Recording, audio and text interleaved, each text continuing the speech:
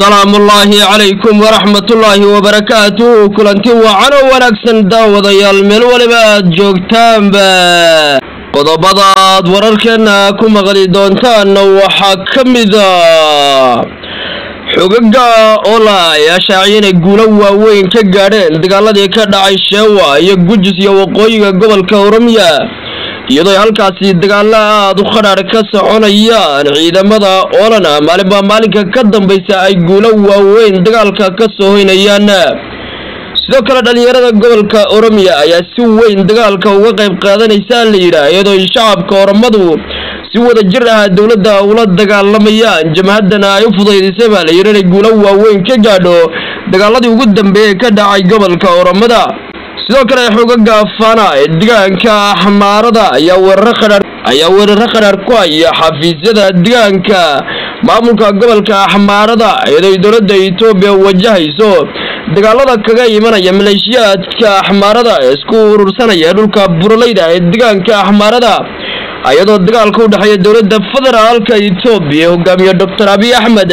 iyo maleeshiyaadka aadka u hubaysan ee ku kacsan maamulka uu maalinba maalinka ka dambaysa cirkaas ku sii shareerayo. Xooga tigrayga ayaa shaaciyay inay dowladda eritrea weerar cir iyo dhulaha ku soo qaada ay duqaymo aad u waaweyn ay ka fulisay waqooyiga dalka etoobiya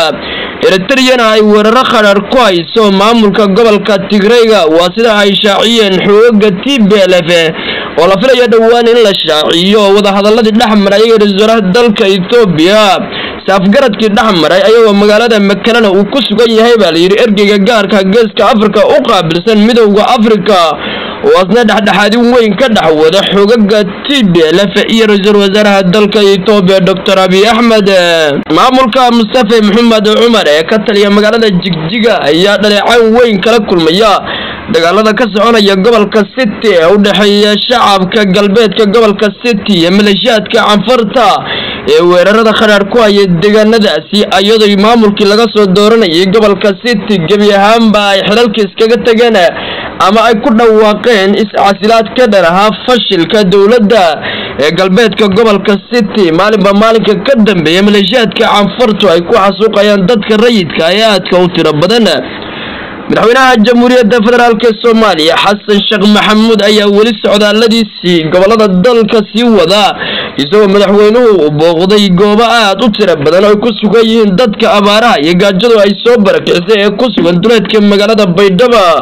ee caasimada maamul goboleedka koonfur galbeed soomaaliya. Qodobadaas iyo qodobo kaleo faah-faahsan ayaa warkeena ku maqli doontaan taariikhdu waxay ku beegan tahay kowda bisha lixaad labada kun labaatan iyo labada. Haddaynu u guda galno wararkeeni oo faah-faahsan ciidamada xoreynta shacabka oromiya ee sida xawligaha u socda ee dhaqdhaqaaqyada weyn ka wada gudaha gobolka oromiya ayaa sheegay inay guulo waaweyn ka gaadheen dagaaladii ay la galeen milatariga dalka etoobiya saacadihii ugu dambeeyey. Iyadoo jamhadda ooland oo la tusiyo waaweyn ay soo bandhigto ay ku sheegtay in ay yihiin horumarada ay ka gaadhay dagaalka fadhiisimada milatariga dalka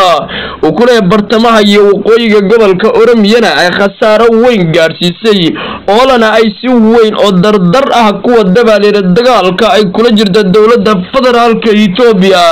xaalada dagaal ee gobolkuna ay aad u adag tahay. Ciidamada oolana ay taageero weyn ka helayaan baa la yidhi shacabka gobolka oromada. Iyadoo ay dhalinyarada gobolka oromadu ay si weyn ugu soo biirayaan dagaalyahanada oola ee sida xoogan ula dagaalamaya ciidanka dowladda federaalka etoobiya gobolka axmaarada waxaa ka soconaya howlgal aad u ballaadhan oo milatariga dalka etoobiya ay ku ugaadhsanayaan xoogaga faana ee deegaanka axmaarada ee isku bahaystay ama isku urursaday dhulka buuraleyda ee deegaanka axmaarada iyadoo saacadba saacadda ka dambeysa ciidamada ama hay'adaha amniga gobolka axmaarada ay xabsiyada u dhaadhicinayaan dhalinyaro aad u tiro badan oo lagu tuhunsan yahay inay xidhiidh hoose la leeyihiin xoogaga fana sidoo kale waxaa la sheegay ciidanka dowladda inay xabsiyada u dhaadhiciyeen ugu yaraan lix wariye oo ka howlgeli jiray deegaanka axmaarada. Howlgallada milatariga gobolka ka soconaya ee lagu baadigoobaya faana iyo taageerayaasheeda si xididada loogu sima ama magaalooyinka ay sida weyn uga dhaqdhaqaaqi jireen. Taageerayaashooda xididada loogu simo ayaa la sheegay inay saamaysay ugu yaraan lix wariye oo ka howlgeli jiray deegaanka axmaarada. Lana sheegay inay ka mid yihiin taageerayaasha sida weyn ugu xidhan xogaga faana barnaamijyadooda brobagandada ah ee ka dhanka maamulka deegaanka axmaarada. Ka tigrayga waxaa ka soconaya duqaymo aad u culus oo ay geysanayaan militariga dalka eritrea ee sida weyn ula dagaalamaya ciidamada t b l f ama maamulka tigrayga ee waqooyiga dalka etoobiya ciidanka eritrea ayaa lagu eedeeyey inay ka soo horjeedaan nabadda dalka etoobiya iyadoo la filayo xoogaga tigrayga iyo dowladda doctor abiy axmed wadahadaladii dhowaan ku dhex maray dalka nigeria iyo sidoo kale ergeyga u qaabilsan geeska africa midowda africa inuu shaaciyo waxyaabihii ay ka wada hadleen xoogaga tigrayga is-afgaradka hordhac ahaa ee u dhexeeya dowladda ethoobiya iyo xoogaga tigrayga. Sidii guul weyn looga gaadhi lahaa ama gebi ahaanba loo soo dhammaystiri lahaa si dalweynaha ethoobiya dhanka nabadda loogu horsado ee colaadu ragaadisay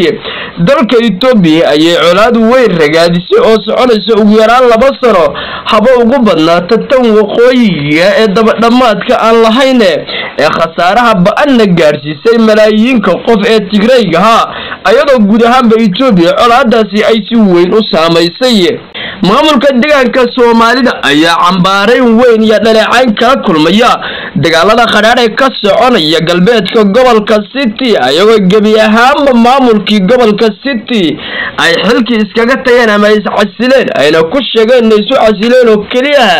dhibaatada dadkooda lagu hayo ee anfartu ku hayso ayna awoodna u hayn ay iskaga caabiyaan. Iyadoo maamulka dowlad deegaanka soomaalida ay gebi ahaanba arrintaasi gacanta ka laabteen ciidanka dowlad deegaankana uu awood u leeyahay baa la yidhi inuu gebi ahaanba anfarta ka hortago hase yeeshee amarka madaxweynaha uu waktigan qaatay ama madaxweynuhu la sheegay inuu si weyn uga gaabsaday anfarta dagaalka lala gelayo anfarta iyo soomaalida ayaa in badan dhulkaasi ku soo dagaalamayay hase yeeshee anfarta ayaa weli ku sii adkaysanaysa inay deegaanadaasi mar uu gacanteeda ku soo celin doonto qodoboreedkan ugu dambeeya madaxweynaha jamhuuriyadda federaalka soomaaliya xasan sheekh maxamuud ayaa weli ol-olyiisii siyaasadda dhambaalka uu ka gadayo shacabka soomaaliyeed ka wada gudaha deegaanada koonfur galbeed soomaaliya. Madaxweynaha ayaa maanta booqday baa layidhi boqolaal qoys oo abaara iyo gaajo ay soo barakicisay oo ku sugan duleedka baydhaba halkaasoo kulamo kula qaatay